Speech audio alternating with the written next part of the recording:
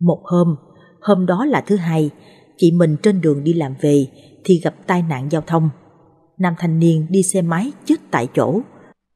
Còn người bị tai nạn cùng mình không rõ vì không nghe chị ấy kể đến. Chị mình thấy tai nạn thì cũng tò mò nên vào xem, cũng buộc miệng nói Sao mà chết trẻ tội về trời Thế thôi, chị mình đi về. Đêm đó chị mình vẫn ngủ bình thường, không chuyện gì xảy ra. Đến sáng hôm sau, tự dưng chị mình sốt cao Cổ họng thì cảm giác như bị sưng Có cái gì cả ngay cổ không nói chuyện được. Phải xin nghỉ làm ở nhà. Mẹ chị mới đưa chị đi bác sĩ Thì bác sĩ bảo chị sốt thôi chứ cổ họng bình thường không có bị gì cả. Chỉ truyền nước biển rồi bán thuốc hạ sốt cho chị rồi hai mẹ con đưa nhau về một ngày rồi hai ngày chị vẫn không hạ sốt. Tối ngủ thì chị ấy mơ thấy bàn thờ của chính mình. Có ba mẹ và em trai đứng khóc thương thắp nhang cho chị. Qua ngày thứ ba thì tự dưng chị mình nhẹ bệnh hẳn nói chuyện lại bình thường. Nhà chị thì cứ nghĩ chị bị cảm sốt bình thường uống thuốc là khỏi nên không thắc mắc gì. Đến tối ngày thứ ba, chị mơ thấy một người con trai đứng cạnh giường chị, nhìn chị âu yếm lắm. Nhìn rất lâu mà không nói gì. Chị giật mình tỉnh dậy thì không thấy ai cả. Xung quanh chỉ có chị với bốn góc tường tối đen. Rồi chị mình lại tiếp đi. Chị lại tiếp tục mơ thấy giấc mơ đáng sợ kia. Chị nhìn thấy bàn thờ của mình nghi ngút khói nhang. Tấm hình chị trên bàn thờ cười rất tươi. Chị giật mình lần nữa xem điện thoại chỉ mới 4 giờ sáng. Chẳng biết làm gì, cũng không ngủ tiếp được, chị nằm lướt Facebook cho đến sáng. Sáng sớm chị dậy rửa mặt, ăn sáng để chuẩn bị đi làm trở lại. Mẹ chị thấy mặt chị tái nhợt, mắt có quần thâm rõ đen nên hỏi Đêm qua ngủ không được sao con, còn khó chịu trong người hả? Mẹ, đêm qua con mơ kỳ lắm mẹ. Mẹ mơ thấy gì, kể mẹ nghe xem. Đêm qua con vừa ngủ một lúc, con mơ thấy một anh cứ đứng nhìn con chầm chầm. Anh đứng ngay cạnh giường của con. Con giật mình dậy thì không có ai. Rồi con ngủ tiếp thì con mơ thấy bàn thờ của con. Hình con đang cười, nhang khói thì nghi ngút. Con sợ lắm mẹ ơi, con mơ thấy ba lần lận.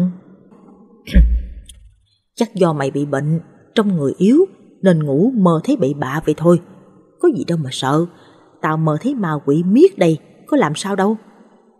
Nhưng mà con sợ lắm mẹ, con mơ thấy ba lần y chang nhau. Đêm qua con giật mình dậy lúc 4 giờ sáng, rồi thức luôn tới bây giờ. Thôi, vô ăn sáng rồi đi làm. Để tối mẹ nấu gì bổ bổ cho ăn. Với mẹ để con dao sắt với củ tỏi ở đầu giường cho mà ngủ. Chị mình đi làm, người thì quể quải vì vừa bệnh dậy còn mất ngủ, chỉ mong được về sớm. Đến trưa, sau khi ăn cơm trưa xong, thì chị mình được nghỉ trưa một tiếng. Chị cùng mấy người chị làm chung, trải mệnh dưới nền đất ngủ tạm. Vừa chậm mắt được một tí thì chị lại mơ thấy anh ta. Người chị mơ thấy đêm qua. Anh ta nhìn chị, xong anh ta cười rồi biến mất. Chị giật mình dậy cũng chẳng dám ngủ nữa. Tối đến sau khi ăn cơm tắm rửa xong, chị lên phòng lướt điện thoại rồi ngủ. Đêm nay chị yên tâm vì mẹ chị đã bỏ dưới gối dao sắc và củ tỏi ở đầu giường.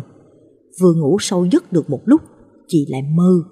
Chị mơ thấy vụ tai nạn giao thông, một người con trai trẻ chết. Hồn anh ta đứng nhìn xác mình be bết máu rồi cười. Một nụ cười đau lòng. Chị lại giật mình dậy. Chị nhớ lại cảnh tượng mình vừa mơ và cảnh tượng tai nạn chị gặp cách đây 6 hôm, y chang nhau. Cũng nơi đó, chiếc xe đó, Duy chỉ có người con trai kia là chị không thấy mặt vì hôm tai nạn xác anh ấy úp mặt xuống. Chị nghĩ, tại sao mình cứ mơ thấy chàng trai đó, mơ thấy vụ tai nạn anh ta chết, mơ thấy bàn thờ của chính mình. Chẳng lẽ mình sắp chết? Mọi thứ muốn ám chỉ việc gì? Đêm nay chị lại mất ngủ. Sáng dậy, chị kể với mẹ mình là chị lại mơ thấy người con trai đó, nhưng ở nơi anh ta chết Mẹ chị bảo Mày cứ thần hồn nát thần tính Cứ suy nghĩ linh tinh Rồi mặt mũi như con dở Mắt thì thâm đen Gầy rợp ra đi Rồi con ma nó mới lấy mày Chị im lặng Chị biết mẹ chỉ không mê tín nên nói gì mẹ cũng chẳng tin. Chị bắt đầu thấy chán nản cuộc sống, mẹ thì không tin mình thấy ma, tối thì cứ bị ám ảnh với những gì chị mơ thấy. Một tuần rồi chị có ngủ được đâu. Rồi hôm nay là cuối tuần, sẵn tiện được nghỉ làm, chị xin mẹ qua nhà nhỏ bạn thân chơi và ngủ lại coi như đổi không khí. Hai người dắt nhau đi ăn uống cà phê, chập chạng tối đèo nhau ra biển hóng mát. Quê mình ở Ninh Thuận nhé, nhà chị mình với mình đều gần biển hết. Đang ngồi tám mọi chuyện trên trời dưới đất, bỗng chị khựng lại. Ê Quỳnh, có anh nào có nhìn tao với mày ấy? Tao có thấy ai đâu, tao có thấy ai đâu mày. Ế quá rồi ngớ ngẩn hả? Đằng kia kìa, tao thấy rõ ràng nhìn về mình mà, anh đó còn cười nữa kìa mày. Nói rồi chị chỉ tay về phía cây dừa gần chỗ chị với bạn chị ngồi, cách chị tầm 50 mét. Làm gì có ai đâu, mày bị ngơ hả? Chị nhìn lại lần nữa, đúng là không thấy thật. Ờ, chắc tao nhìn nhầm, thôi, tao với mày đi về đi. Kiếm bánh trắng trộn với xôi chiên mua, rồi về nhà mày nói chuyện tiếp. Về đến nhà chị Quỳnh, hai người nhanh nhẩu phi lên phòng, vừa ăn vừa tiếp tục tám. Rồi chị Quỳnh mới nảy ra ý định kể chuyện ma cho thêm phần hấp dẫn. Chị mình bỗng im bặt, ngẩn ngơ không nói gì. Ê, mày sao đây? Tao rủ kể chuyện ma, sao ngồi ngợt ra vậy? Tao có chuyện muốn kể cho mày nghe. Hôm thứ hai, tao đi làm về, có gặp tai nạn xe, mà có một thằng chết tại chỗ. Rồi qua hôm sau, tao bị bệnh, mày nhớ không? Ừ, rồi sao? Hai hôm tao suốt mê man, không nói chuyện được. Tao mơ thấy bàn thờ của tao mày ơi. Thấy cả ba mẹ với em trai tao đứng thắp nhang cho tao rồi khóc. Qua hôm sau, tao lại mơ thấy một anh đứng cạnh giường tao, nhìn tao âu yếm lắm. Gì ghê vậy mày? Sao không thấy mày kể cho tao nghe? Rồi mới đêm qua, tao lại mơ thấy nó, ở nơi nó bị tai nạn chết. Tao giật mình, không dám ngủ nữa. Mày có kể cho mẹ mày biết chưa? Tao kể rồi mà mẹ tao có tin đâu. Chỉ để dao sắt dưới gối, với tỏi ở đầu giường cho tao, bớt mơ bậy thôi. Cái hôm mà, cái hôm tai nạn đó, mày có nhào vô coi không vậy? Tao có, mà nhìn có một xíu hà, thấy máu me tùm lum cho nên tao về luôn. Chị Quỳnh nằm im lặng suy nghĩ một hồi rồi nói Hay là mày bị người con trai đó theo Mà tao thấy mày dàn rợp ra mắt thăm quần tao nghi lắm thì tao có ngủ được đâu, nên xin mẹ tao hôm nay qua ngủ với mày nè.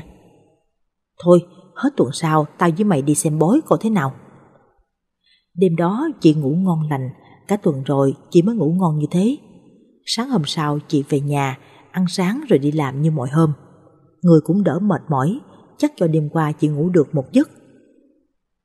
Đến tối, chị lại ngủ, Mơ thấy người con trai đó Đứng cạnh giường chị, Ánh mắt trông rất giận chị. Rồi anh nói, Giọng nói nghe ấm lắm. Sao đêm qua em không về nhà, Có biết anh đợi em không? Có biết anh giận em lắm không? Không được đi đâu nữa nha. Trong mơ chị nói, Anh là ai? Sao lại theo tôi? Theo tôi có mục đích gì? Anh thích em, nên mới theo em. Em thích hóng gió biển, Anh đưa em đi nhé. Nói rồi phục cái, Chị thấy mình ở biển mà không kịp từ chối. Và lần này chị nhìn rõ mặt anh. Anh không đẹp trai như soái ca, Nhưng ánh mắt anh chân thành lắm. Giọng nói của anh ấm áp vô cùng. Chị cũng muốn siêu lòng mà theo anh. Anh dắt chị vào một phòng biển, Rồi anh đưa chị về nhà. Anh hẹn chị, Ngày mai mình lại gặp em nhé, Thương em nhiều. Nói rồi anh biến mất. Chị cũng tỉnh giấc, Vơ vội điện thoại thì mới 4 giờ 30 Chị trằn trọc suy nghĩ về người con trai đó. Mới gặp anh. Nghe anh nói chuyện thôi, Hình như chị có cảm tình với anh rồi. Chị mong đến tối mai để gặp lại anh. Hôm sau đi làm, Chị cứ suy nghĩ về anh. Chị không tập trung vào việc gì cả, Muốn được nói chuyện với anh. Tối vậy chị nhanh chóng ăn cơm Rồi lên giường đi ngủ. Chị ngủ sớm hơn mọi ngày. Tối đó anh về thật. Lần này anh nói dắt chị về nhà anh. Anh muốn ra mắt chị với gia đình mình. Anh đưa chị đi, nhà anh thì cũng bình thường lắm, cũng không giàu có gì. Chị gặp ông bà anh, vài người bác, họ còn chúc phúc cho hai người nên vợ thành chồng. Lúc đấy anh vui lắm, anh đưa chị về lại nhà mình rồi biến mất như hôm qua. Hẹn ngày mai anh lại đến. Chị choàng tỉnh giấc, nhìn xung quanh tối đen, mở điện thoại lên cũng mới 4 giờ sáng. Chị thoáng nghĩ tại sao mình không mơ tiếp, chị muốn ở cạnh anh thêm một lúc nữa. Một phần vì chị mình chưa có người yêu nên đổ nhanh cũng nên. Sáng dậy mẹ chị nhìn chị, mắt quần thâm ngày càng hiện rõ, người hốc hác ốm đi. Mẹ chị bảo, tối mẹ không ngủ hả con, nhìn mày tuần trước với tuần này xem có khác gì nhau không? Kệ con đi, mẹ để ý làm gì, con đi làm đây. Mẹ chị không hiểu chuyện gì, tự dưng chị lại gắt lên như vậy. Cứ như thế, những ngày tiếp theo chị gắt gỏng khó chịu với mọi người trong gia đình. Chị còn không thèm gặp chị Quỳnh, bạn thân của mình. Chị chỉ muốn đi làm rồi nhanh chóng về nhà ngủ để gặp anh, được bên anh, được anh đưa đi những nơi chị chưa bao giờ biết đến. Đến hôm Chủ nhật, như đã hẹn hôm nay đi coi bói, mới 6 giờ 30 sáng, chị Quỳnh đã gọi điện réo chị dậy. Chị chẳng thèm nghe máy, gọi đến cuộc thứ năm chị nghe máy. Gì vậy?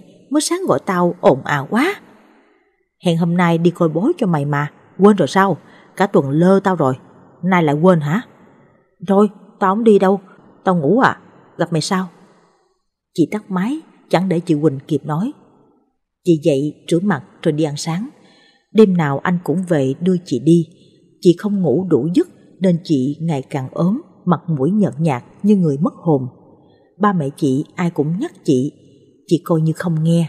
Chị chỉ muốn gặp anh, chị nhớ anh, muốn đi chơi với anh như bao người khác. Chị không hề biết rằng mình đang đi vào cõi chết. Sau khi chị ra khỏi nhà, mẹ chị mới lên phòng chị dọn dẹp thì phát hiện chị mua rất nhiều thuốc ngủ và uống gần hết một hộp rồi. Mẹ chị giận lắm, đợi đợi chị về hỏi cho ra lẽ. Chị đi đến trưa thì về, mẹ chị gặn hỏi thì chị gắt lại. Mẹ hỏi làm gì? Con không ngủ được cho nên mua thôi, mẹ kệ con đi. Mẹ chỉ thấy chị không ổn vì dạo gần đây hay gắt gỏng nóng tính, người thì xanh xao. Mẹ chỉ kể với bà chị thì ba chị bảo chắc do chị buồn chuyện gì, lựa lời nói với chị xem sao. Sáng hôm thứ hai, sau khi tan làm, chị Quỳnh gọi chị rủ đi ăn hàng thì bị chị gắt lại. Tao không đi, mày đi đi. Chứ, với lại mày bất phiền tao đi, suốt ngày gọi với nhắn tin. Rồi chị cúp máy. Nói rồi chị đi dạo vòng vòng rồi mới về nhà. Còn về chị Quỳnh thấy bạn mình không ổn nên nhanh chóng qua nhà chị, gặp mẹ chị để nói cho mẹ chị biết về những lần mơ thấy người con trai đứng cạnh giường nhìn chị. Theo chị ra tới biển khi hai người đi chơi. Đến lúc này mẹ chị đã cảm nhận được điều gì đang xảy ra với con mình. Không tin cũng phải tin. Nên hôm sau kêu ba chị nghỉ làm một hôm để hai người đi coi bói. Nhà bà thầy ở Phan Rang cũng không xa nhà chị lắm. Bà thầy này được bạn của mẹ chị giới thiệu nên hai người cũng tin tưởng một xíu. Vì đi đầu tuần nên không có ai coi. Vừa vào nhà, chưa kịp nói đến xem chuyện gì thì bà thầy đã nói trước. Có phải hai người có đứa con gái sinh năm 93 là con gái đầu đúng không? Ba mẹ chị ngỡ ngàng. Dạ đúng rồi ạ. Hai người làm ba mẹ sao mà không biết con gái mình đang bị vong theo à? Một vong nam gần cả tháng rồi chứ ít gì. Gì ạ? Con của con bị vong theo sao? Con không hề biết vì dạo gần đây nó ít tiếp xúc với mọi người, đi làm về ăn cơm nhanh rồi nó lên phòng ngủ. Nó đang mê muội thằng đó rồi, không nhanh chóng bọn nó cưới nhau rồi có con với nhau thì hối không kịp đâu. Bây giờ phải làm thế nào bà chỉ cho vợ chồng con với ạ? À? Mẹ chị đáp, ngày mai thu xếp dắt nó đến đây, thằng đó sẽ tự khắc đi theo nó tới đây, rồi ta mới biết làm thế nào. Hôm sau, ba mẹ chị bắt chị nghỉ làm, nói dối chị là đưa chị đi khám bác sĩ, bắt chị lên xe, phải chở ba đi qua nhà bà thầy. Chẳng còn cách nào khác, để chị đi một mình, biết đi coi bói là chị sẽ quay về mất. Chở đến nơi, mẹ chị nhanh chóng xuống xe khóa cổng để chị không phải bỏ chạy. Ba chị ép chị vào chào bà thầy. Đoạn xem thầy, mình chỉ nghe kể lại nên không kể được chi tiết xảy ra những gì. Vào đến điện, bà thầy nhìn ra cửa quát. Vòng kia, ai cho theo tới đây? người tên tuổi là gì, ở đâu, sao lại theo con gái nhà người ta? Âm dương cách biệt, không đến được với nhau đâu. Anh không trả lời, chỉ im lặng, chị thì ngơ ngác, không biết anh đứng ở đâu, chị muốn gặp anh. Còn muốn gặp anh ta phải không? Bà thầy hỏi. Dạ, con muốn gặp anh. Nói rồi, bà thầy kêu một đệ tử của bà lên điện.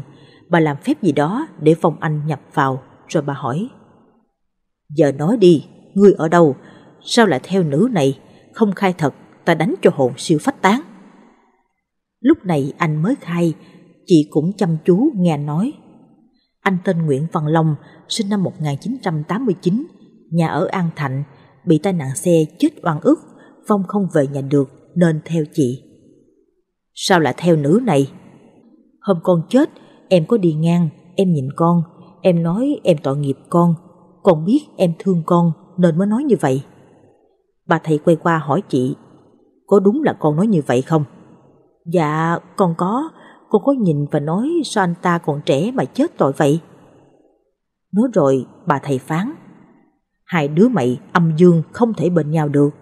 Hay nếu đợi được thì đợi chị sống hết cuộc đời dương thế rồi về bên nhau. Anh nhìn chị, anh khóc, chị cũng khóc theo. Anh nói không muốn xa chị và muốn cưới chị làm vợ. Anh nắm chặt tay chị không muốn buông. Bà quát. Muốn gặp nó thì nghe lời ta. Lên chùa tu, làm việc thiện. Đợi nó hết kiếp này rồi trùng phùng. Còn không nghe, ta đánh trò tan hồn không được siêu sinh. Anh không nói gì, anh chỉ khóc. Bà càng quát lớn. Giờ có buông nhau ra không? Ta nói lần cuối cùng, yêu nó thì đỡ nó đi. Nói rồi anh buông tay chị ra. Anh gật đầu đồng ý, anh hứa không hề gặp chị nữa mà âm thầm bảo vệ chị, giúp chị khi chị cần. Rồi anh ra đi mà chị chưa kịp nói gì. Chị thẫn thờ vì những ngày sau và hết đời này chị không thể thấy anh nữa. Ba mẹ chị chở chị về. Về tới nhà, chị vô phòng đóng cửa mà không ăn uống gì. Chị đau lòng lắm. Hôm sau chị cũng xin nghỉ làm, chị không còn tâm trạng đi làm. Chị chỉ nhốt mình trong phòng, không gặp ai, tắt luôn cả điện thoại. Đói quá chị xuống nấu mì gói ăn, rồi lại lên nằm. Chị nhớ anh, chị là khóc, chị muốn chết theo anh. Khóc mệt, chị thiếp đi được một lúc, thì chị mơ thấy anh nói với chị. Em cố gắng mạnh mẽ lên, anh sẽ ở cạnh em, đợi em hóa kiếp, mình lại bên nhau. Đừng khóc nữa, anh đau lòng lắm. Chỉ là bây giờ anh không thể bên em, nhưng anh sẽ bảo vệ em. Anh yêu em. Anh nói hết câu, chị giật mình dậy, chị lại khóc, mặt chị sưng húp cả lên. Chị nảy ra ý định sẽ ngủ, ngủ thật nhiều để anh về gặp chị. Chị lén ba mẹ đi mua thuốc ngủ về uống. Cứ như thế liên tục mấy ngày chị nhốt mình ở phòng. Đói thì ra ăn rồi lại ngủ. Nhưng anh chẳng về. Ba mẹ chị thấy chị như vậy cũng đau lòng lắm. Cố gắng làm chị vui mà chẳng được. Ngay cả chị Quỳnh chị cũng chẳng thèm nói chuyện. Nỗi nhớ anh da diết, chị muốn chết sớm, muốn sớm theo anh, muốn làm vợ anh như lời hai người đã nói. Đi đâu chị cũng tưởng tượng ra anh kề bên chị. Trong giấc ngủ chị cũng khóc. Chị đau lòng mà không biết làm gì để gặp anh. Cuối cùng chị quyết định theo anh. Lửa lúc ba mẹ chị ra ngoài, em trai đi học, chị xuống bếp để con dao thái, mài thật bén để kết liễu đời mình, để chị được đoàn tụ với anh bên dưới kia. Chị mang dao lên phòng, thay đồ đẹp, nhìn mình trong gương thật lâu, rồi chị cắt tay chính mình máu chảy xuống, nước mắt chị rơi theo. Chị xin lỗi ba mẹ vì bất hiếu, không phụng dưỡng được ba mẹ già. Rồi chị cười, chị sắp được gặp anh rồi, người mà chị yêu. Chị định cắt nhát nữa thì chị Quỳnh vừa kịp sang. Ba mẹ chị sợ chị ở nhà một mình có chuyện gì nên gọi chị Quỳnh sang với chị một lúc. Cũng may chị Quỳnh sang kịp lúc nắm tay chị lại không cho chị cắt sâu hơn, giật được con dao. Tay chị Quỳnh cũng đứt chảy máu Chị mình thì ngất đi, có lẽ vì quá mệt. Chị được đưa đi cấp cứu nên không sao. Khi tỉnh lại, chị có gọi ba mẹ, em trai và cả chị Quỳnh lại nói chuyện. Chị xin lỗi vì chuyện vừa rồi, chị đã quá dại dột.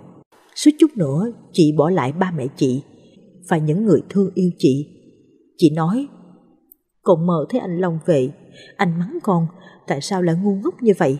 Anh giận con lắm, anh không muốn con theo anh. Muốn con sống tốt, rồi anh với con cũng sẽ bên nhau. Anh sẽ âm thầm bảo vệ con, để con không làm việc dại dột nữa.